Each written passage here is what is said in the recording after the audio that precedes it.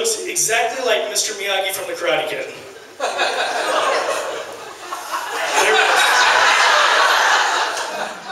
But, but not only that, he's Japanese, he looks like Mr. Miyagi, and he was a urologist.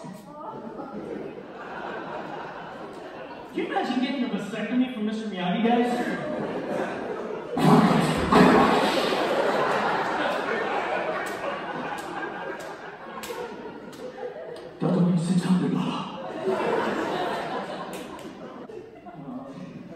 It was interesting because when I was growing up, I always used to hear medical terms that my dad used that I'd never know what they meant. But it didn't stop me from using them.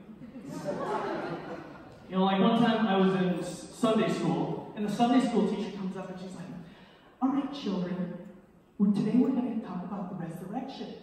Can anyone tell me what they know about the resurrection?